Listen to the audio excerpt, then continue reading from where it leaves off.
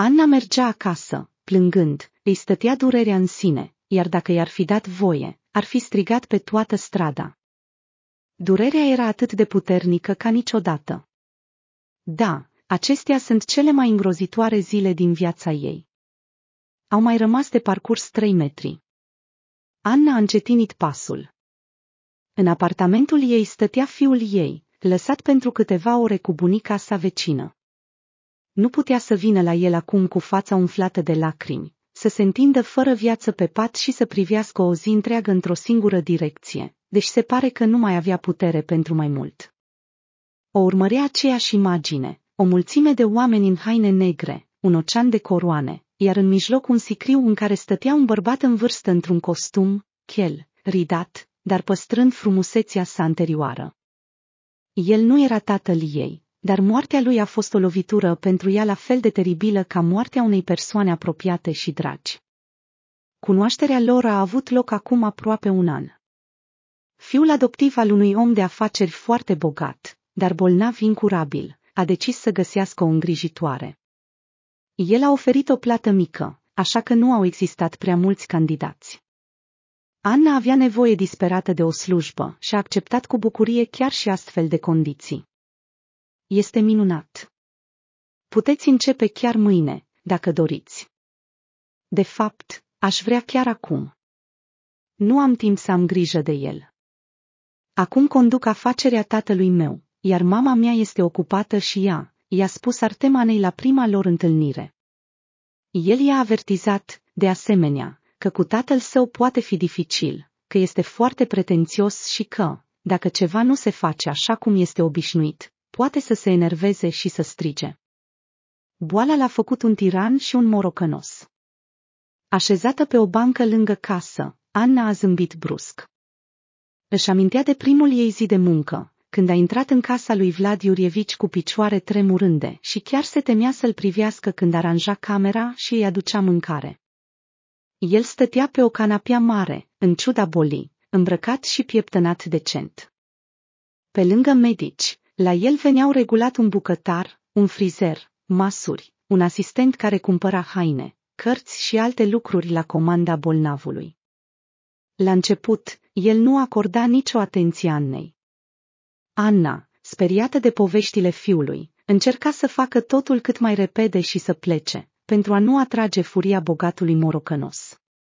Într-o zi, ochii lor s-au întâlnit, iar bărbatul a zâmbit. Anna a zâmbit înapoi. Ce-i cu tine?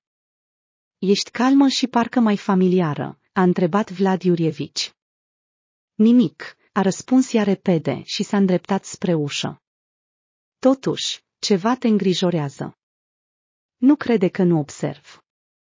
Fiul meu este bolnav, nu am cu cine să-l las, a recunoscut Anna, coborâtă capul. Înțeleg și mă îngrijorează. Are cinci ani. Nu e bine să fii atât de mic și singur. Hai să vedem. Am o cameră pentru oaspeți la etajul 2. Așa că mutați-vă acolo. Mie nu mai trebuie să urc acolo, iar vouă vă va fi mai confortabil. Unde locuiți acum? A întrebat-o bărbatul, privind-o surprins. La montaj, într-un fost cămin, a răspuns Anna. O, așa că e un adevărat barac. Nu, vă rog insistent să vă mutați la mine, a spus el categoric. Vlad Iurievici, îmi pare rău, dar aș fi jenată. Fiul meu, Alexandru, îi place să alerge și să facă zgomot, iar dumneavoastră aveți nevoie de liniște. Iar soția mea? Ea a murit deja. Nu începe. Moartea nu alungă pe nimeni. Alexandru a rămas chiar fără cuvinte pentru câteva minute când a ajuns pentru prima dată într-un astfel de conac imens și bogat mobilat. Iar camera în care urmau să locuiască acum părea mai mult o mică garsonieră. Băiatul a scos imediat din rucsac ursulețul său preferat, cu o labă cusută și ochi din nasturi, și l-a pus pe o poliță lângă pat. De la acest moment a început noua lor viață. Vlad Iurievici avea dreptate, râsul cristalin al copilului, jucăriile care, în ciuda eforturilor lor, apăreau aici și colo, și tălpile mici au animat casa, iar împreună cu ea și pe el însuși.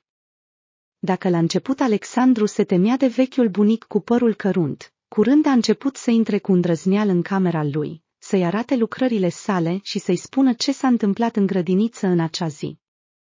Alexandru, du-te în camera ta, Vlad Iurievici trebuie să se odihnească, a spus mama, încercând să-și scoată fiul din cameră. Alexandru, nu mă lăsa singur, te rog, altfel mama ta îmi va stinge lumina și mă va forța să dorm, iar eu mă tem de întuneric, a spus bărbatul cu o voce jucăușă și tristă și a făcut cu ochiul lui Alexandru, ceea ce l-a făcut pe băiat să râdă. Mama a clătinat din cap, dar apoi nu a rezistat și a zâmbit și ea, permițându-i fiului să rămână. Cea mai dorită ocupație a băiatului a fost să se uite la diferite lucruri rare pe care le acumulase proprietarul în vârsta al casei. Colecția sa includea ceasuri de diferite forme și culori, timbre, fotografii, picturi, farfurii din diferite orașe și țări, statui de elefanți, figurine de cristal. Nu exista nimic pe care să nu-l fi decis să strângă. De obicei, nepotul neliniștit și nerăbdător, Alexandru putea să se uite la toate acestea ore în șir și chiar a primit câteva lucruri cadou. Mama lui se alătura uneori și ea, uitându-se de găleată și mături. Odată, mergea pe hol cu un platou în mâini, pe care se aflau medicamente, și a auzit următoarea conversație. Mama m-a certat din nou azi, a oftat băiatul. Ce ai făcut? A întrebat bunicul cu un glas bâlând. Am ieșit pe stradă, iar asta nu era permis. Mama a spus să stau, că e roșu, și m-a certat. Bunicul a oftat și a spus, Alexandru, dar mama ta are dreptate. Nu poți ieși pe stradă pe roșu, altfel te poți lovi de mașină. Mama a rămas în picioare, sprijinindu-se de perete, și lacrimile i-au curs pe obraz, una după alta. De ce, dintr-o dată, această conversație simplă a trezit în ea sentimentul copilăresc de a fi nevoie și iubită. Tatăl ei a fost întotdeauna rece cu ea. În depărtare s-a auzit un tunet, începea să plouă. Părea că și cerul era trist pentru ea și că în curând se va revărsa cu un potop. Vlad Iurievici, care în aceste luni îi devenise mai aproape decât tatăl ei, nu mai era.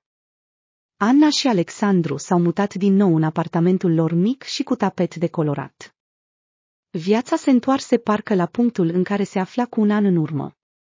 În timp ce urcau scările, Anna își amintea cum văzuse cu dispreț cum o priveau văduva și fiul lui Vlad Iurievici la înmormântare. De parcă i-ar fi furat ceva, se gândia, deși de fapt nu lua niciodată nimic ce nu era al ei și nu spunea niciodată un cuvânt rău nimănui dintre aci oameni se vedeau destul de des în ziua plății sau în timpul vizitelor lor scurte. Din poveștile lui Vlad Iurievici, Anna a aflat că prima lui soție murise de mult și că Artem era fiul celei de-a doua, pe care o îndrăgise ca pe un tată. Alexandru a ieșit din cameră și i-a întins mamei sale bomboane, pe care probabil le primise de la vecină. El o privea cu atâta sinceritate și dragoste, încât îi dădeau imediat putere. Mulțumesc, micuț, spuse Anna cât mai vesel posibil. Ce ați făcut aici? Am desenat o imagine pentru tine, spuse mândru băiatul și i-a arătat desenul. Ești un copil bun, spuse vecina, ridicându-se. Dacă aveți nevoie de ceva, veniți la mine, sunt aproape mereu acasă. Mulțumesc, Maria Vasilievna, spuse Anna cu o sinceră recunoștință și înțelese că nici măcar nu avea puterea sau dorința de a oferi oaspeței ceai. A rămâne fără loc de muncă cu un copil mic, care mai mult ca sigur va fi bolnav, este o problemă serioasă. Anna nu-și găsea locul. Din nou, lăsându-le pe Alexandru la vecină, ea cu trăiera birourile, magazinele, spitalele și grădinițele din apropiere. Era asistentă medicală de profesie, dar era pregătită pentru orice fel de muncă, doar să se angajeze cât mai curând posibil și să primească un salariu în avans. La plecare din casa lui Vlad Iurievici, ea nu se gândise că el i-ar putea lăsa ceva. Deși Artem știa de mult că tatăl său îi lăsase o parte din averea sa. Dar ce? Rămânea o enigmă pentru toată lumea. Prin urmare, acum, stând în biroul notarului, Ei gândeau la lucruri diferite. Anna la ce o chemau acolo, în timp ce trebuia să caute un loc de muncă, văduva la cât să vândă casa și cele două mașini. Artem era furios pe tatăl său și încerca să-și imagineze ce va primi, în cele din urmă, aceați păpușă de îngrijitoare. Totuși, când bărbatul în costum a anunțat ultima dorință a defunctului, fiul său adoptiv a zâmbit mulțumit. Ce generos m-a dăruit tatăl, nu-i așa? Un adevărat dar regal. Râzând, ei au plecat împreună cu mama. Anna a rămas să stea și a întrebat dacă poate renunța cumva la moștenire, pentru că nu era deloc de folos. Dar notarul a insistat să nu o facă. Vă sfătuiesc să acceptați proprietatea. Dacă nu o vindeți, nu se va întâmpla nimic rău. Și, în plus, de ce a vrut clientul meu ca tocmai dumneavoastră să primiți această proprietate? A trebuit să accepte, pentru că, într-adevăr, trebuia să existe un motiv întemeiat pentru care el a procedat așa. Anna nu se mâna deloc cu o antreprenoare. Poate că în clădire se putea locui, iar el știa despre problemele ei. Sau notarul avea dreptate și spațiul trebuia vândut. O situație interesantă. Acum nu era doar o mamă fără loc de muncă cu un copil, ci și proprietara unei vechi băi publice. A doua zi, ea a plecat acolo pentru a vedea despre ce era vorba. Clădirea era veche, gri, cu pereți scorojiți. Odată, în anii 90, baia aducea un venit bun. Era plină de vizitatori. Acum, în schimb, rămăseseră doar pereții și mobilierul stricat. Ferestrele și ușile erau intacte și nimeni nu pătrunsese înăuntru. De jur împrejur erau instalate camere de supraveghere. Și acum, ce să facă cu toate astea? O femeie de afaceri, a ironizat Anna cu ea însă și, deși în sufletul ei se ascundeau îndoieli. În spatele ei, a auzit un șușur și un scâncet. A tresărit de surpriză și s-a pregătit să se apere. Dar nu a fost nevoie. Pentru că din grămada de moloz, abandonată într-un colț, a ieșit un cățeluș ciobănesc german, care a venit la ea, legănându-și coada. De unde ești, micule? A întrebat Anna, în timp ce el se învârtea vesel în jurul picioarelor ei. Cățelușul nu semăna cu un câine fără pedigre, fără stăpân. Era de culoare maro deschis, cu urechi și labe mari. Acel dolofan semăna foarte mult cu un labrador. Probabil se ascunsese într-o crăpătură și nu a putut ieși, așa că a devenit un prizonier involuntar. Era imposibil să-l lase acolo, pentru că era ca un copil adevărat. Așa că a trebuit să-l ducă acasă, sperând că pe drum vor întâlni stăpânii lui, care și-l vor recupera. Dar nimeni nu a întâlnit.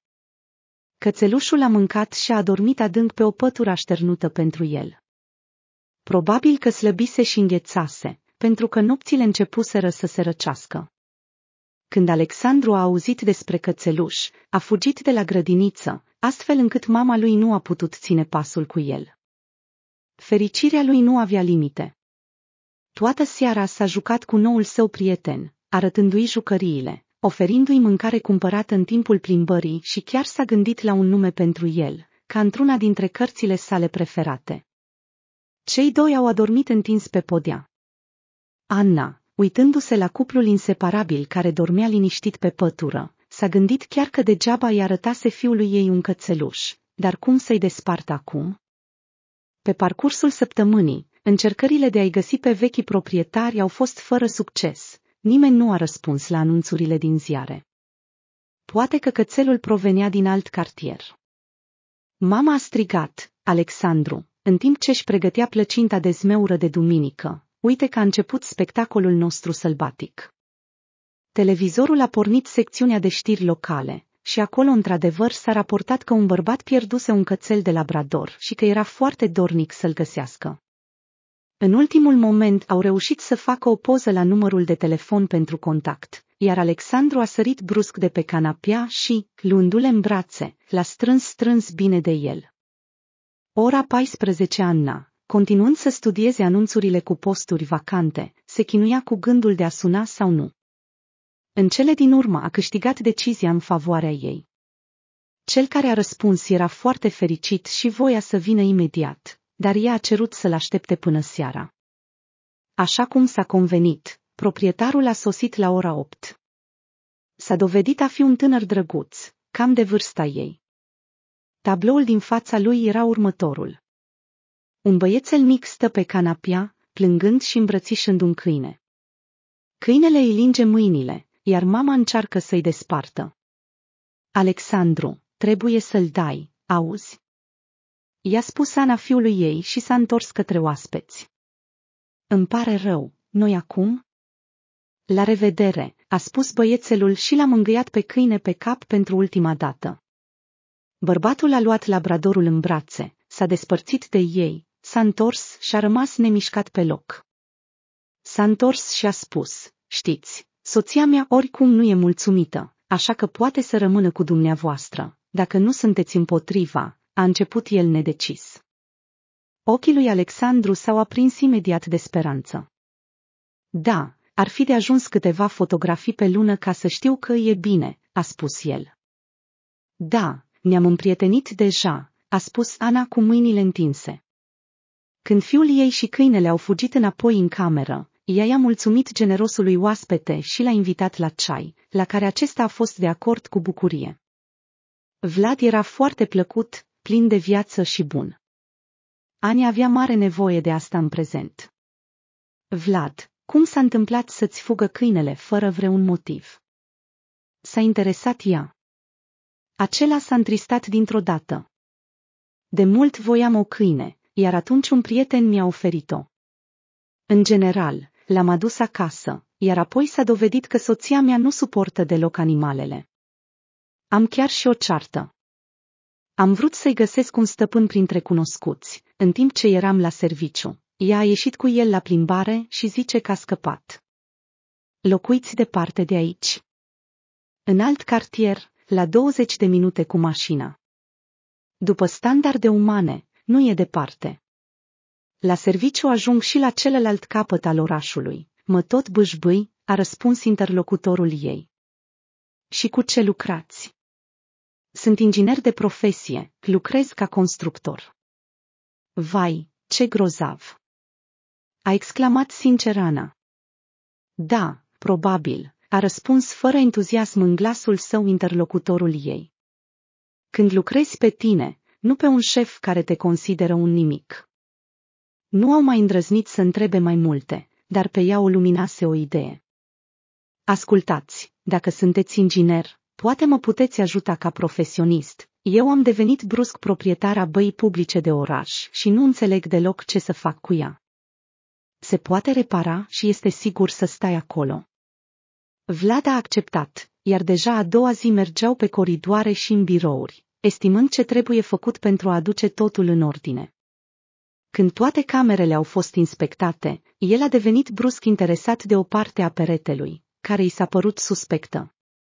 Vezi, acest bloc iese în evidență pe fundalul general, de parcă ar fi fost făcut mult mai târziu decât tot restul. Să vedem, s-a adresat el Annei. Da. Haideți, a răspuns Anna, agitată. Începuseră să-i vină în minte gânduri îngrozitoare. Cine știe ce ar fi putut ascunde Vlad Iurievici aici? Desigur, ea nu credea în zvonurile că în anii 90 ar fi fost un bandit, dar totuși. Vlad a luat un ciocan și, după ce a bătut în perete, a descoperit în el un spațiu, a lovit mai tare și totul s-a dărâmat. Anna și-a acoperit chiar și fața cu mâinile, pentru că până în acel moment reușise să-și imagineze cele mai rele scenarii, un schelet, cuțite, pistoale. Nu, din nișă din perete a căzut un portofel argintiu. După ce l-au deschis, au descoperit mai multe pachete de bancnote. Anna nu văzuse atât de mulți bani în toată viața ei, ea crescuse într-o familie foarte săracă, unde fiecare ban era pe cont și adesea nu era suficientă nici măcar pentru mâncare. Iată așa un ascunzătoare. A exclamat Vlad. Acum este al tău. Anna încă stătea încremenită și se uita la portofel. Abia după câteva minute gândurile i s-au adunat și a spus, de unde sunt aici? Probabil că fostul proprietar i-a ascuns, dar cine altcineva ar fi făcut-o? Oh, important este ca să nu fie fiul lui. Probabil că acum voi putea să-mi refac baia. Ce părere aveți? Va fi suficient dacă voi achiziționa materialele fără o majorare semnificativă de preț și voi angaja o echipă bună. Doar că eu nu înțeleg nimic în asta, iată problema, s-a gândit Anna și imediat i-a venit o nouă idee. Dar ce dacă vă rog să vă ocupați de asta? Ați fi de acord să plătiți? Pot, cât spuneți? Vlad a cerut timp de gândire. Socrului său cu siguranță nu-i va plăcea asta. În general, nu-i plăcea când rudele făceau ceva pe cont propriu, fără indicațiile sale. Pe de altă parte, asta ar putea fi primul său proiect independent. S-a căsătorit de vreme, aproape imediat după facultate, iar tatăl bogat al soției sale nu-i dădea de atunci pace. L-a instalat în compania sa și acele câteva sarcini pe lună care îi erau atribuite lui Vlad erau mai degrabă un gest de bunăvoință decât o muncă reală. Fie că socrul nu avea încredere în ginere, încercând să-l convingă de lipsa lui de valoare, fie că dorea să-l pună în dependență de sine, dar tot nu ieșea prea bine. Vlad pierduse credința în propriile forțe, deși, după cum s-a dovedit, nu complet. Hai să încercăm, o să-ți calculez tot și te sân, a spus el bucuros. Foarte bine, a oftat Anna. Peste câteva săptămâni, Artem trecea pe lângă clădirea unei mari băi, când a frânat atât de brusc, încât în spatele lui abia a evitat să se ciocnească de o mașină.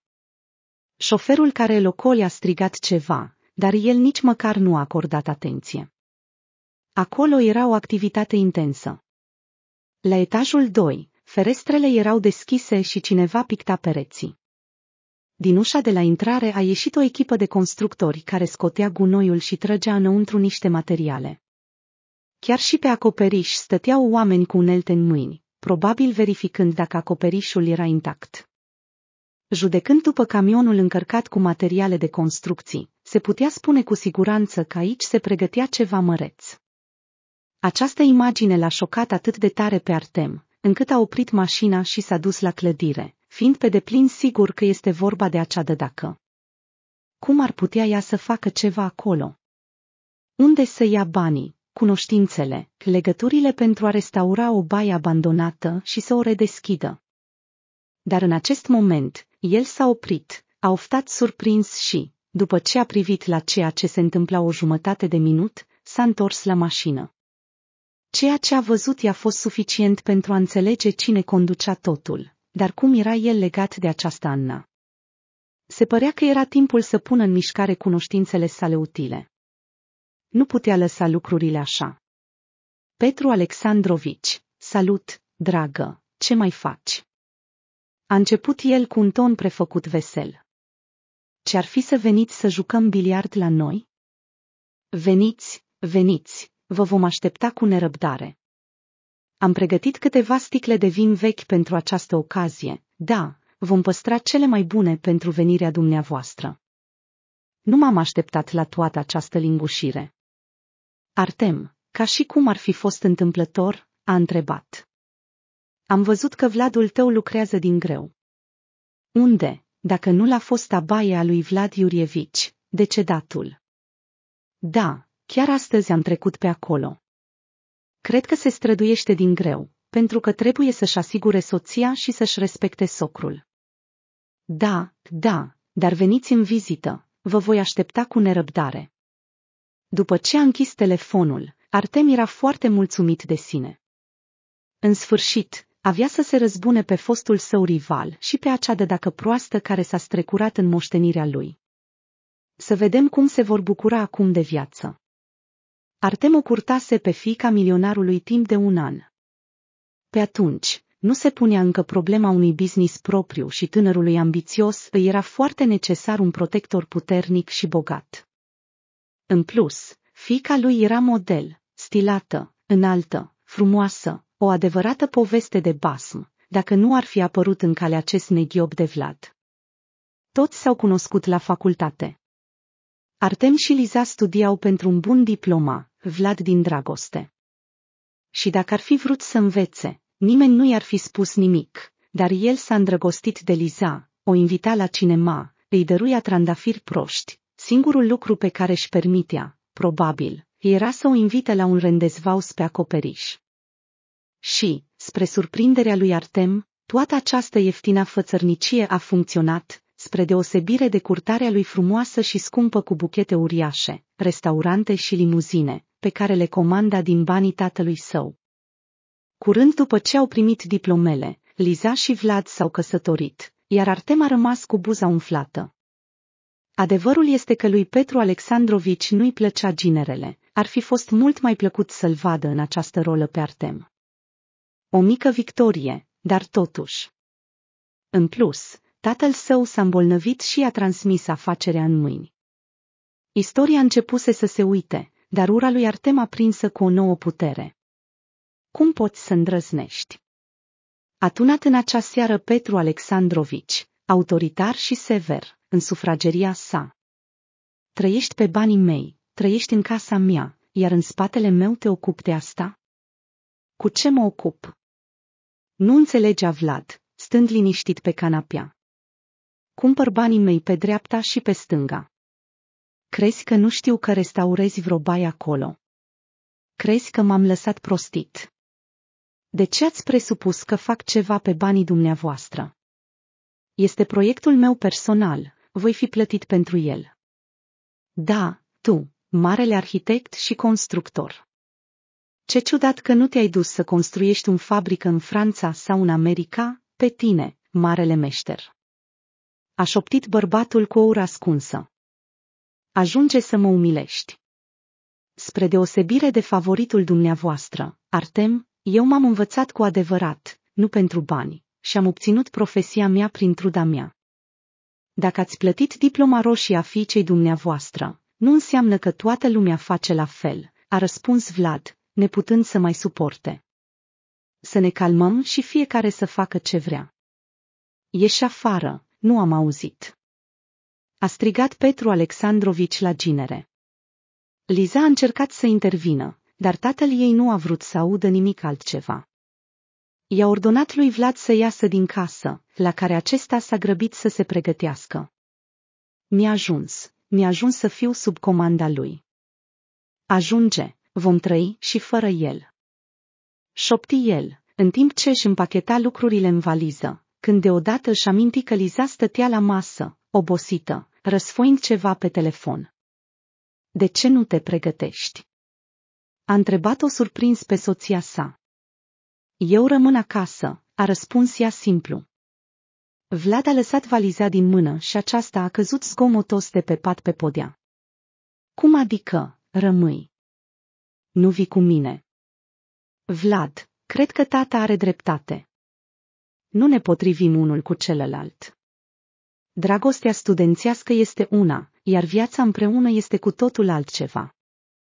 Totul e clar, a răspuns dezamăgit Vlad și s-a îndreptat spre fereastră.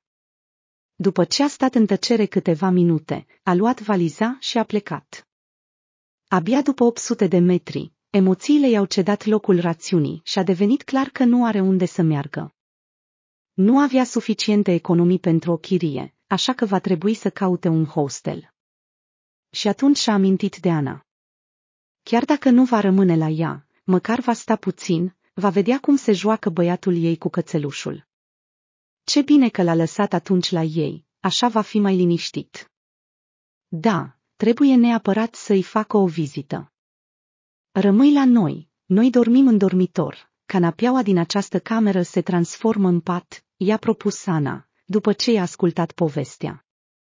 Ea însă și și-a făcut patul, în timp ce băieții, Vlad, Alexandru și cățelușul, se jucau nebunește pe podea.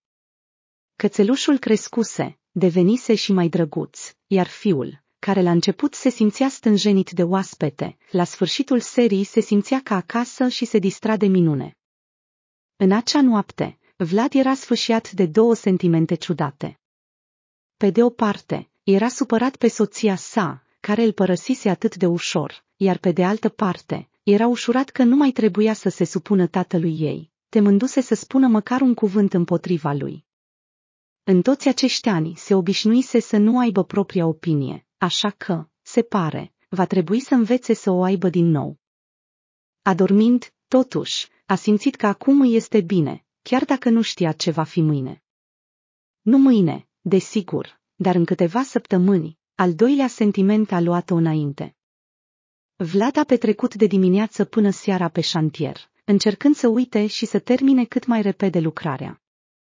I-a venit ideea de a folosi banii pe care i-a primit pentru a-și crea propriul site web și a-și găsi clienți prin intermediul acestuia.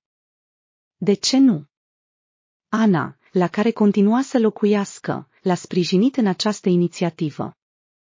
Ei stăteau în bucătărie după cină și discutau despre problemele urgente. Repararea băii era aproape finalizată, era timpul să o mobilați și să angajați angajați. Ana era foarte îngrijorată, până și în coșmaruri îi se visa această baie. Uneori vedea pe cineva că bătea cu ciocanul și zidurile se prăbușeau, alteori fugea cu tot din adinsul, sufocându-se și vedea că clădirea ardea. De îndată ce vom termina, voi închiria un apartament și nu vă voi mai deranja, a spus ferm Vlad. De ce ai decis că te deranjezi? A întrebat Ana, surprinsă. Sașca a intrat în cameră, iar după el a urmat Veseltic, această pereche inseparabilă care acum se despărțea doar atunci când băiatul era la grădiniță, deci dacă ar fi avut posibilitatea, l-ar fi luat și acolo. Mamă, nu pot găsi câteva piese, a spus cu un glas supărat și a arătat mașina. Da, caută în cutia cu jucării, cu siguranță sunt acolo sau sub ea, a răspuns Ana. I-a răspuns veselă mama. Ei bine a fost de acord băiatul și a fugit înapoi. Pot să vă pun o întrebare personală după ce m-am gândit puțin? A întrebat Vlad, dă-i drumul, a răspuns Ane, deja ghicind. Despre ce va fi vorba? Unde este tatăl lui Sașca? S-a uitat pe fereastră și s-a gândit. După un pic de tăcere, și nu și-a turnat în cana lor de ceai, ca și cum ar fi dat de înțeles că toate acestea nu se povestesc repede. Doar nu mă judecați aspru, a început ea. Eram proastă și naiv atunci, am ieșit din satul de sărăcie, am intrat la facultatea de medicină și chiar în timpul studiilor am început să lucrez. Deci, în spitalul nostru era un medic. Am aflat mai târziu că se dădea la toate asistentele și atunci m-am gândit și că îi plăcea foarte mult. Era căsătorit, dar promitea să divorțeze, spunea că soția trăiește doar din obișnuință din cauza copiilor și, în general, îmi a târnat tăiței de urechi, iar eu am crezut. M-am speriat teribil când mi-am dat seama că sunt însărcinată, i-am spus că speram că acum va divorța definitiv, dar în schimb s-a enervat. Mi-ați scos din biroul lui. A doua zi, m-a chemat medicul șef al spitalului.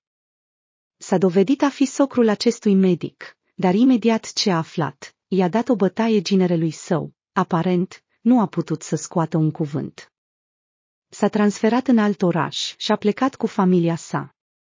Și nu voiam să trăiesc. Umblam ca o umbră, fără să văd nimic în jur. Aici, șeful a început să preseze, spunând, favortul mai repede, nu te voi atinge atunci.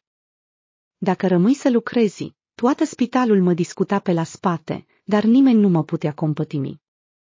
Rudele sunt la țară și nici de la ele nu te aștepta la prea multă compasiune, ei înși nu au de ce trăi, iar eu sunt cu un copil. Am zăbovit cu decizia, până când a fost prea târziu, și așa am pierdut. M-au dat afară de la serviciu și am înțeles că au făcut tot posibilul ca să nu pot să mă angajez nicăieri în oraș după profesie. A trebuit să muncesc ca spălătoreasă, îngrijitoare, împachetătoare, m-am agățat de orice oportunitate, ca să pot economisi măcar puțin bani până la nașterea lui Alexandru. Iată că am reușit să obțin un apartament aici și l-am mobilat cum am putut. Coartem, cum te-a adus soarta? De ce s-a supărat atât de tare pe tine? A întrerupt-o Vlad povestirea. Îl cunoști pe el, este fiul lui Vlad Iurievici. M-am îngrijit de el în ultimii șase luni până când, ei bine, până când nu a mai fost. Anna nu a putut să-și stăpânească lacrimile. Până acum era greu de crezut că acest om nu mai există. Așa grijuliu cum nimeni nu a mai fost cu ea. Mi-a lăsat înscris această baie și bani ascunși în ea. Artem încă râdea de mine că tatăl său a dat o astfel de fleac iubitei sale bune, și eu nici nu înțelegeam la ce să fie toate astea, iar acum cine știe, poate asta ne va asigura toată viața. Îmi e teamă că acest Artem nu va interveni și nu-ți va strica toate planurile, este foarte gelos. În ceea ce avea dreptate Vlad, așa era în ceea ce privește întreprinzătorul lui Artem. Aflând că planul său a funcționat și că Liza este acum liberă, el a încercat să apară mai des în fața acestei familii. Fie că cerea sfatul înțeleptului și puternicului Petru Alexandrovici, fie că îl invita la cină, fie că se prezenta singur la ei cu un buchet uriaș de trandafiri pentru Liza și o sticlă de coniac scump pentru tatăl ei, care era foarte pasionat de băuturile scumpe. Toate aceste eforturi nu au fost în zadar și inima Lisei a fost cucerită. Cum de nu am observat înainte că este așa de bun? Întreba ea prietenele. Într-o zi, Artem a venit la Liza cu un inel strălucitor pe deget. Desigur, nu i-a răspuns imediat, a spus că va mai gândi, dar de fapt era deja sigură că se va mărita cu el, pentru că ce să facă, toată viața să fie singură. Nunta a fost organizată într-un mod care a fost discutat de tot orașul. Cel mai scump restaurant, invitați respectabili, Mirele într-un costum elegant, iar mireasa într-o rochie albă de vis. Au venit la restaurant într-o mașină aurie uriașă și au pășit pe o covoare roșii presărate cu petale de trandafiri albi. În general, toate visele prețuite ale Lisei s-au împlinit în acea zi. Fotografiile au circulat pe rețelele de socializare. Toată lumea știa ce s-a întâmplat. Doar doi nu au fost, care până atunci nu le-a păsat de Vlad și Anna. Vlad și Anna au renovat baia și au făcut din ea un loc nostalgic, unde te poți relaxa cu prietenii din tinerețe, poți face baie cu aburi, te poți lovi cu bețe de mesteacăn, poți sta cu o ceașcă mare de bere și pește uscat, înfășurat într-un prosop și cu o pălărie de fetru amuzantă pe cap. Din anumite motive, oamenii de peste 50 de ani se pare că s-au săturat de o asemenea simplitate și au început să rezerve spații aproape pentru o zi întreagă. Mai ales în weekenduri și sărbători. Anna a decis să facă un bazin și să instaleze o cadă cu jacuzzi în următorul an, pentru a diversifica timpul liber al clienților și pentru a ridica prețul. Vlad nu a stat nici el degeaba.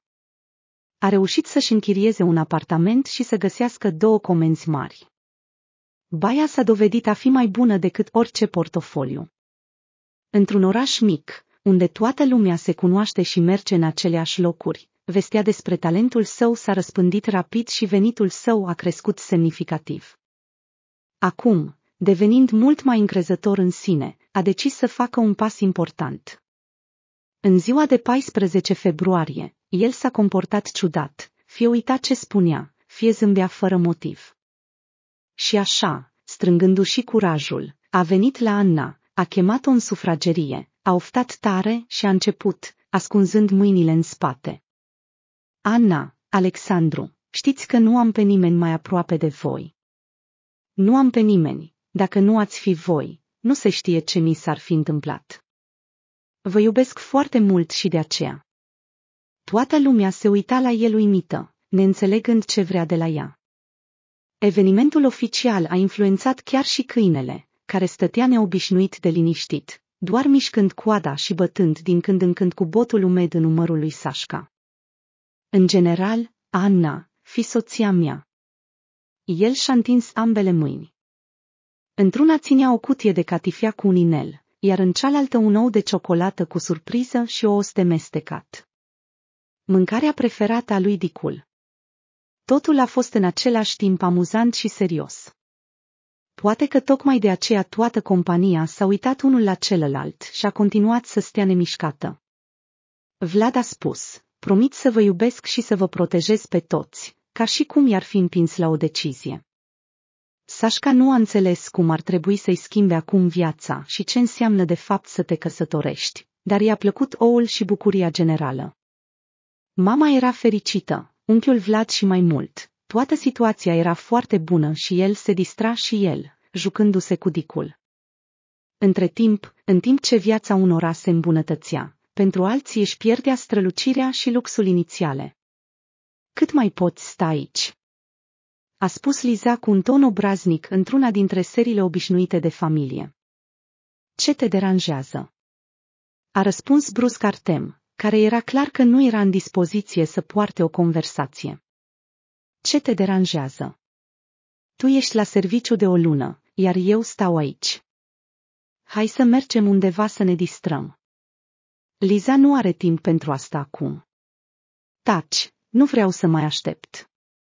Dacă nu mergi tu, merg eu singură. Dăm bani. Nu pot, nu pot să-ți dau nimic acum, înțelegi. Deodată, soțul ei a strigat la ea. De la surpriză, ea abia nu a început să plângă. De ce vorbește așa cu mine? S-a supărat ea. Bine, scuză-mă, nu e timpul să mai cheltuiești aiurea, a mormăit Artem în răspuns și s-a întors, culcându-se pe pat. Afacerile lui mergeau într-adevăr prost. Inspirat de primele succese, el se răsfăța literalmente cu bani, cumpărând tot ce era mai bun și mai scump, făcea pariuri uriașe pe meciuri sportive, din care pierdea cea mai mare parte în baruri și restaurante, plătea pentru toată compania, dobândind prieteni dubioși. Acum, când clienții obișnuiți, atrași încă de tatăl vitreg al său, au fost dezamăgiți de abilitatea lui Artem de a conduce o afacere și au plecat, veniturile au început să scadă brusc. Era nevoie să se acopere golurile din trecut, care se topeau pe zi ce trecea. Din cauza tuturor acestor eșecuri, Artem și-a pierdut fosta generozitate, a devenit irascibil, arogant și bea tot mai des singur. Liza nu voia să știe de asta, s-a căsătorit pentru a trăi în strălucire, pentru a merge în cele mai bune restaurante și saloane, așa că a continuat să se comporte de parcă ar avea atât de mulți bani încât ar ajunge chiar și la nepoți. Ce rochi, la naiba, Maldive, nu știu cum vom plăti salariile în curând, despre ce vorbești mă tot strici Artiom la soția lui după următoarea ei pretenție. Nu înțeleg ce ai, s-a plâns ea și, în general, nu ar trebui să vorbești așa cu mine. De data aceasta nici măcar nu s-a cerut scuze, s-a ridicat și a plecat undeva, lăsând-o singură. Anna a sunat imediat la o prietenă pentru a-i povesti despre comportamentul soțului ei și pentru a se plânge de lipsa de distracții. Între timp, el s-a dus nu la bar, așa cum plănuise să fugă din casă, ci la socrul său. Cine altcineva decât Petru Alexandrovici îl poate salva acum? Adevărul este că opinia lui în acest sens era diferită. Te-am avertizat la ce duce risipirea banilor, a reacționat calm la relatarea emoțională a socrului. Dar cine știa că va fi așa? Mi-ar fi de folos acum puțin, Petru Alexandrovici, doar puțin, pentru a lansa reclame și a găsi noi clienți. Atunci totul va fi din nou în regulă, a tachinat Artiom cu speranță. Nu, tu ai intrat în asta singur, singur ieși, nu am bani de prisos și sunt prea practic. Nu voi da niciun ban dacă nu sunt sigur la 100 de procente de perspectivele idei. Tot așa a răspuns el, arătând că nu mai are încredere în ginere. Se auzea cum acesta lovea cu pumnul în perete ieșind din birou. Ultima speranță de salvare a dispărut. Acum chiar merită să mergi la bar pentru a uita. Dar Anna chiar s-a pierdut când l-a văzut pe Artem la intrare. A venit în compania mai multor bărbați pentru a se relaxa la baie. Ea în acel moment a oprit să verifice cum merg lucrurile și stătea la bar. Când oaspeții au plecat în interior, fostul angajator a rămas și, privind-o la burtă, a întrebat. Deci, familie, soț, copii, casă, o ceașcă plină. În vocea lui se simțea invidia neascunsă. Da, ceva de genul ăsta, te rog, a răspuns Anna, indicând spre ușa spre care prietenii lui plecaseră cu câteva minute mai devreme. Dar, dar, a reacționat el cu furie, așa că Anna s-a speriat chiar și ea. În seara aceea i-a povestit despre această întâlnire soțului ei, care a încercat să o liniștească, deși el bănuia că situația nu va fi atât de ușoară. Și cum s-a uitat în apă. După o săptămână, Artem a venit din nou cu o propunere. De ce are nevoie de toate acestea unei femei însărcinate? Iar el poate scăpa de această povară, să răscumpere afacerea pentru o sumă bună. Adevărul este că prețul propus era bun pentru el, prea ridicol părea această cifră.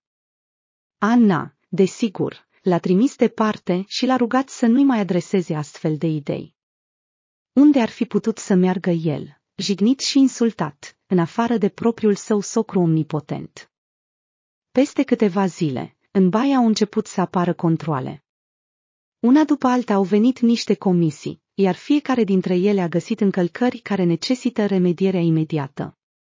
La început părea un fel de neînțelegere, dar curând a devenit evident că cineva a decis să le închidă și opțiunile pentru cine ar putea face asta nu erau atât de multe. Controlele nu s-au încheiat și, mai rău, a fost deschis un dosar pentru neplata impozitelor. Bineînțeles, totul a fost o minciună de la început până la sfârșit, deoarece Anna era responsabilă pentru toate plățile și procedurile de siguranță. Și apoi a venit o altă zi mai proastă din viața ei. Dimineața, doi ofițeri de poliție au venit după ea și i-au cerut să-i urmeze. Fără să-și dea seama de nimic și neavând timp, ea doar și-a sunat soțul și l-a informat despre tot. Vlad era la fel de speriat ca și ea, dar de ce să meargă la închisoare?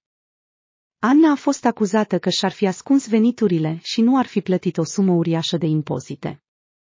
Așa că, pentru prima dată în viața ei, s-a trezit într-o celulă înghesuită cu trei femei de peste 50 de ani. Două dintre ele erau în mod clar obosite de viață, nervoase și ajunseseră de mai multe ori în spatele gratilor. Nu trebuia să te încurci cu bogații, trebuia să dai tot ce-ți cer, și așa ar trebui să stai cinci ani, jubila una dintre ele, dar copilul tău va fi fiul serifului meu de asemenea nu a ieșit nimic bun din el, că tatălui dispare pe undeva, o încuraja cealaltă. Da, ea nu-i așa, liniștește-te prostește exclamă trei nu asculta de Hanca. Nu la tine supărat, nu la tine cât timp nu ești închis, încă poate se vor rezolva toate astea, îi se părea atât de rău, încât nu mai avea putere nici măcar să plângă. Micul din interior se agita, parcă pentru a-i reaminti de ce merită să lupte pentru viață. Noaptea îi visa pe Vlad, Alexandru și Dick, de care îi era foarte dor. Uneori, acest sentiment devenea pur și simplu insuportabil. Îi dorea să o îmbrățișeze soțul strâns-strâns, voia să simtă afecțiunea lui, pe fiul ei și chiar Dick, care acum îi se părea drag și iubit, deși înainte nu simțea nicio legătură cu el. Între timp, Vlad încerca să-și păstreze aspectul vioi, pentru a nu se descompune și a nu-l speria pe micul Alexandru, care în fiecare seară spera că mama sa se va întoarce din delegație și va veni să-l ia. Căutarea unui avocat, călătoriile la întâlniri, lecțiile cu fiul său adoptiv, care în acest an urma să meargă la școală, viața de zi cu zi, cel puțin într-un fel, o distragea și nu-i permitea să se predea. Totul părea un coșmar teribil care ar trebui să se termine în curând, dar nu se termina. Săptămânile treceau după săptămâni, nu se prevedeau îmbunătățiri. A devenit cu adevărat înfricoșător când Anna a primit o scrisoare în care un angajat al băii i-a informat că stabilimentul a fost închis definitiv, iar Vlad a fost implicat într-un accident. Acum este în spital, iar Alexandru a fost deja dus într-un orfelinat. Nu-și amintea cum au trecut primele 20 de minute de la citirea scrisorii. A căzut pe podeaua rece, și-a acoperit capul cu mâinile și a început să urle tare. Ce se întâmplă acolo? A întrebat un glas sever din spatele ușii. Totul este în regulă, doamnă, doamnă, nu vă faceți griji, nu vă deranjați, i-a răspuns una dintre femeile care o păzeau în timp ce celelalte două au ridicat-o pe Anna și au așezat-o înapoi pe pat. În accident, în orfelinat, voi muri, a murmurat ea, neputând vorbi, sufocându-se, ținând în mâini foaia mototolită. Dar nimeni nu a murit, toți sunt vii, va fi bine, soțul tău va fi vindecat, îți vei lua fiul înapoi, cum te vei elibera de aici, ține-te, acum trebuie să fii puternică pentru doi, a spus cea mai grijulie dintre colege, îmbrățișând-o pe umeri. Chiar și cea mai rea vecină poate fi așa uneori. Anna a fost eliberată cu puțin timp înainte de naștere, într-o zi caldă de mai. Primul lucru pe care l-a făcut a fost să plece acasă. Acolo a aflat că tot timpul acesta Dick a fost sub supravegherea vecinei. Când Vlad a fost implicat într-un accident, circumstanțele care i s-au părut foarte suspecte, mergea pe o potecă pietonală, unde a fost lovit de o mașină care a dispărut în direcția necunoscută, iar băiatul a fost dus la orfelinat. Câinele nu era de folos nimănui. Bunica bună nu a putut să-l abandoneze, îl hrănea, îl lăsa afară, de unde se întorcea singur și aștepta la intrare să fie lăsat înăuntru, și uneori câinele dormea în holul ei. Un dic slăbit, murdar și trist a întâmpinat-o pe Anna la ușă și s-a bucurat foarte mult de ea. Te-a recunoscut, a zâmbit bunica. Iar Alexandru este aici, nu departe, într-un orfelinat. L-am văzut când mergeam la spital. Recent a alergat la gard și m-a întrebat despre tine, despre Vlad, îi este rău acolo. Mulțumesc, Maria Vasilievna, atunci mă duc imediat acolo. Trebuie să-l recuperez cumva. Și Sașca a slăbit și a devenit mai tăcut. Mergea încet pe lângă mine când am reușit în sfârșit să-l luăm din orfelinat.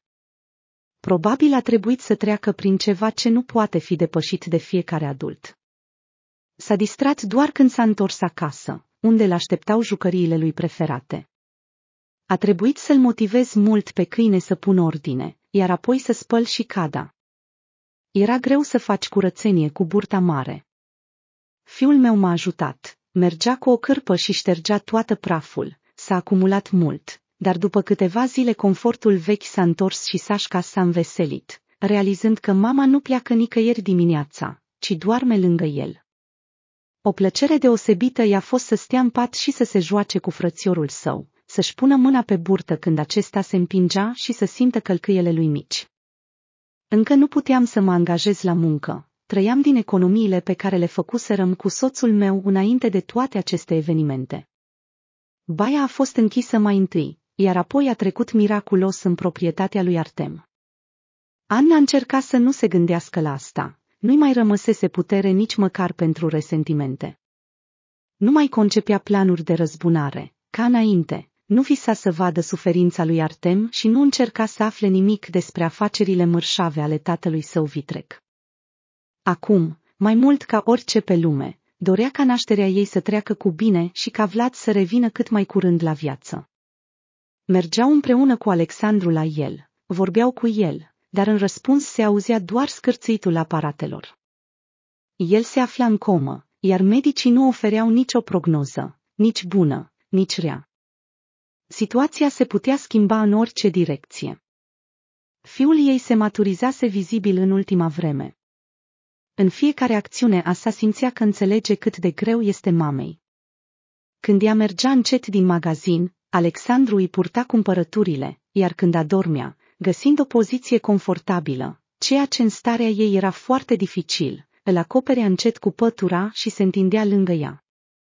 În sfârșit, a sosit ceasul zero.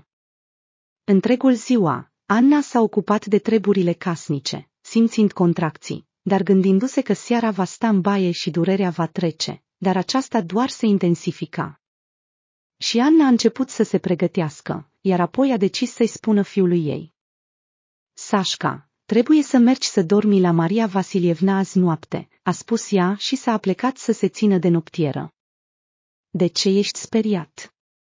A întrebat el, văzând cum mama respiră din ce în ce mai greu. Totul este bine, micuț, nu te îngrijora, a zâmbit mama. Când contracția a trecut, doar fratele tău vrea să se nască. Mă duc acum la spital. Ochii lui Sașca s-au aprins, el deja de multă vreme aștepta să-l cunoască. Acum băiatul era gata chiar să meargă la bunica vecină, deși acolo era destul de plictisitor. Cu atât mai mult, că putea să ia cu el pe Dico și toate jucăriile lui preferate. Anna, foarte îngrijorată, a sunat un taxi și a plecat la spital.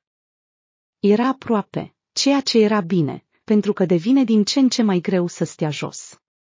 Cu echipa ei a avut noroc, au fost întâmpinate cu cordialitate, au încercat să-i completeze cât mai repede documentele în recepție și au transferat-o în salonul de nașteri. În timp ce năștea, Anna visa să fie alături Vlad, să o îmbrățișeze, să o mângâie, să-i spună câteva cuvinte bune, iar apoi să-și vadă fiul. Doar să iasă, doar să supraviețuiască. Când băiatul a fost pus pe burtă, toate suferințele au fost uitate, a dispărut toată durerea, frica și disperarea. Dintr-o dată, a devenit atât de dornic să trăiască, de parcă soarele ar fi răsărit după o noapte foarte lungă. Micul era atât de neajutorat, cu pumnii strânși, cu pielea îmbibată, dar cel mai frumos din lume. În timp ce ea nu se sătura să se uite la nou-născutul ei, în fosta ei baie se desfășura o adevărată tragedie. Artem și câțiva dintre prietenii săi, beți, au adormit. Ușile cuptorului au rămas deschise și scânteile care au ieșit din ele au căzut pe lemne uscate. Trecătorilor le-a tras atenția fumul abia atunci când una dintre încăperi era deja cuprinsă de flăcări. Afacerile lui Artem mergeau foarte prost în ultima vreme. După cum era de așteptat, bucuria de la operațiunea reușită de a-și însuși baia tatălui său a trecut repede. Da, a răzbunat-o pe îndrăzneata infirmieră, o privând de tot ce dobândise în mod absolut necinstit. În opinia sa, ea a plătit pentru că a vorbit cu el atât de obraznic și el a devenit proprietarul unei noi afaceri de succes. Dar tot ce îi cădea în mână, tot ieșea înapoi, nu se potrivea, nu se obținea. În ochii săi, toată lumea era de vină pentru aceste eșecuri, tatăl său, care nu îl iubea suficient, soția sa, care nu putea să se gândească la nimic altceva decât la distracții și la cumpărături, ticălosul socru, mama indiferentă, subordonații care nu se pot instrui, da, toată lumea. Tot mai rar apărea acasă, bea mult, era grosolan cu cei care încercau să-l învețe minte, iar odată chiar a amenințat-o pe soție. Liza, în continuare, nu înțelegea sincer ce se întâmplă cu soțul ei, se plângea de el tatălui său, se văita. Pentru că în acest an, ca și anul trecut, nu au mers nicăieri. Incendiul de la baie și ceea ce s-a întâmplat cu Artem au fost ultima picătură în creșterea dorinței sale de a divorța. Între timp, Anna s-a întors acasă cu un pachet albastru, din care se zărea o mică față roz. Sașca îl privea cu ochi fascinați, ținându-și mâinile la obraj. Ce mic! Șopti el, aplecându-se peste pătuț. Cum îl cheamă? Știi, Sașca, nu am decis încă. Ar fi fost grozav să-i alegem numele împreună, răspunse trist Anna. Dar când Vlad se va însănătoși? Nu știu, să mergem la el poi mâine, după ce mă voi odihni puțin, să mergem. Și au plecat, așa cum se înțeleseseră. Acum, drumul până la spital era mai dificil, a durat mai mult, dar când au ajuns acolo, sufletul Aniei s-a ușurat imediat. De multe ori își imaginase scena cea mai îngrozitoare, cum ajungea la spital și camera era goală sau cum Vlad se trezea și se despărțea de ea. Acum, toate temerile îi părăsiseră. Soțul ei zăcea încă pe pat, înconjurat de tot felul de aparate, ca și cum ar fi dormit adânc. Parfumul medicamentelor se simțea în aer, iar în tăcere se auzea un tic-tac constant. Sașca, obișnuit cu astfel de spații, se așezase pe un scaun. Anna se așeză și ea lângă el, ținându-le pe bebeluș în brațe. După câteva minute de liniște, ea a început să vorbească. Dar uite, Vlad, acum suntem cinci. Îi trec un nod în gât. Iar un nume nu-mi pot alege, trebuia să ne alegem împreună. Lacrimile îi se rostogoleau pe obraj, căzând pe pătuțul în care era înfășurat nou-născutul. El dormea liniștit, sugându-și degetul. Sașca se uită la mama lui, apoi la Vlad și și el se întristă. Așa au stat ei așa vreo 15 minute, până când Anna își reveni și își dădu seama că Sașca trebuie să fie cel mai greu să treacă prin asta. Era timpul să se adune și să meargă la doctor să întrebe dacă poate face ceva să-l ajute. În acel moment, bebelușul începu să mormăie, să-și miște brațele și picioarele, iar fața îi se încruntă și începu să plângă. Ai foame, micule? Întrebă mama cu bâlândețe. Se ridică, dădu la o parte un scaun și așez copilul pe el. În timp ce își scoatea jacheta pentru a-l hrăni, bebelușul se supără complet și începu să țipe tare. Așteaptă, acum, acum, spuse grăbită Anna, aplecându-se și luând copilul în brațe. Mamă! Strigă Sașca, de ce țipi așa? Acum îl hrănesc și mergem acasă. Mamă! Repetă Sașca, când mama lui continua să stea cu spatele la el. Ce este? Nu mai rezistă ea și se întoarse să-și privească fiul. Același copil, cu ochii mari, se uita la Vlad și arăta cu degetul în direcția lui. Inima Aniei se prăbuși în adâncuri, era uimitor cum mâinile ei nu se desprinseră, uitând ce făceau în acea clipă. Părea că tot corpul ei se prăbușea undeva sub pământ, se înțepenise și nu putea să se miște. Vlad, care zăcea pe pat, își deschise ochii, apoi mișcă ușor degetele mâinilor, era clar că privirea aceasta era conștientă. El s-a uitat la Alexandru, apoi la Anna și s-a oprit la pachetul care țipa. Vladu i s-a întors darul vorbirii, al auzului, al capacității de a se mișca. Lumea din jur, care pentru o clipă își pierduse forma, culoarea, sunetul, și-a regăsit totul. Ea înțeles că ținea în brațe fiul ei, care plângea tare, și că trebuia să-l hrănească. Două minute mai târziu, Alexandru stătea în pragul biroului, din care îl priveau uimiți medicii și asistentele. Mătușa Vlad și-a deschis ochii. Copii, trebuie să mergeți acolo, a spus el, abia ținându-se pe picioare. Încă o clipă, toți au fost trimiși în coridor, pentru a nu crea zgomot și a nu deranja. Medicul l-a examinat pe pacient, l-a întrebat despre starea de sănătate, în timp ce Alexandru și Anna stăteau îmbrățișați la fereastră. Bebe a băut lapte și s-a culcat din nou. Puteți intra, a anunțat vesel doctorul. Doar pentru puțin, zece minute, are nevoie acum de odihnă și supraveghere. Cine e acolo la voi? A rostit cu greu Vlad. Fiul nostru, a arătat Anna spre pruncul și el a zâmbit. Era atât de tare că până și tu te-ai trezit, i-a explicat vesel Alexandru. Artem s-a întors acasă după o lună cu fața mutilată. A fost salvat miraculos, dar a fost grav ars. A pierdut ochiul drept. După ce a luat decizia de a renunța la alcool, el se îndrepta spre casă pentru a-i comunica acest lucru soției sale. Da, e timpul să-mi iau lumea înapoi, se gândi el. În urma acestei gânduri au venit și altele, numai puțin sănătoase. Ea voia să meargă în Maldive?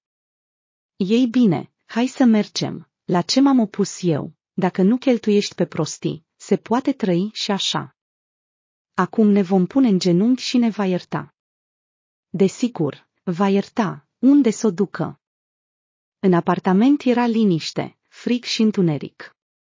Pe polița de încălțăminte era gol, în dulap la fel, pe masă un strat de praf, se vedea că nu fusese nimeni acolo de trei zile. Desigur, Lisei nu era nicăieri altundeva de mers decât la tatăl ei, și Artem s-a grăbit acolo, dar și acolo l-a așteptat ceva similar. L-a întâmpinat o necunoscută care s-a prezentat ca fiind îngrijitoarea lui Petru Alexandrovici. În coridor era întuneric și se simțea mirosul medicamentelor. Da, m-am îmbolnăvit. Cum vezi? a spus socrul său. Nimeni nu e nemuritor, uite și eu. Unde a plecat Liza în vacanță? A întrebat neliniștit Artem. A plecat, dar nu în vacanță, a plecat definitiv. Vrea să trăiască singură, dăm bani. Interesant, nu am vrut să-i dau nimic, i-am spus că are soț, i-am înjurat, a plâns, s-a plâns că a greșit că s-a căsătorit, a trebuit să o compătimesc, are o fică, la fel ca tine. Și unde, unde a plecat? A întrebat Artem, ridicându-se și parcă pregătindu-se să fugă. A cerut să nu spun, dar nici eu nu știu prea bine. A plecat în străinătate, în Turcia, undeva, nu vrea să te vadă și atât. Artem s-a târât înapoi în apartamentul gol și deodată în memorie i-a răsărit o amintire, cum tatăl său i-a spus cu puțin timp înainte de moarte, trebuie să rămâi mereu om, fiule. La ce te referi? A aruncat el, iritat de morală. La nimic, doar ține minte, poate că ți va fi de folos vreodată. Da, chiar a fost util, gândi Artem, oftând. El se opri și plecă mai departe. Vlădui se făcea mai bine, mai întâi a învățat din nou să-și controleze mâinile, apoi să stea jos. Aceste două abilități i-au permis să țină în brațe pe fiul său, spre bucuria tuturor.